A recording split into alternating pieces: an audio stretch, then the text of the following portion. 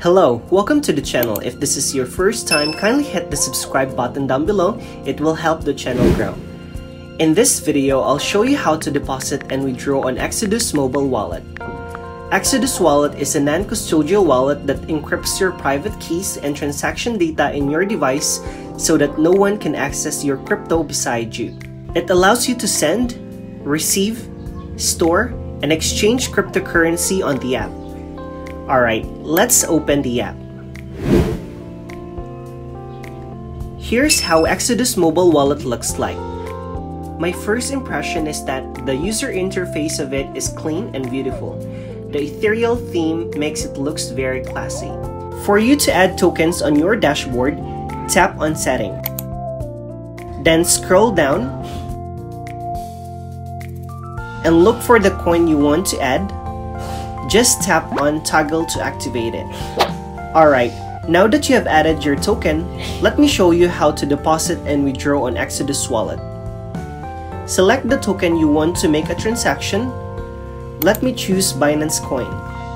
For you to receive BNB or Binance Coin, tap on the arrow pointing towards you.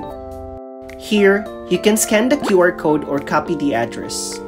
You can also click on the share button to directly share it with your friends. In cashing out, tap on the arrow pointing away from you. Input the amount you want to withdraw. Tap on Advanced Memo to see the network fee, the memo, or you want to add personal note which is optional. Here, you paste your withdrawal address and click Next. Let me show you another sample. Let's choose Bitcoin. Tap this arrow to deposit.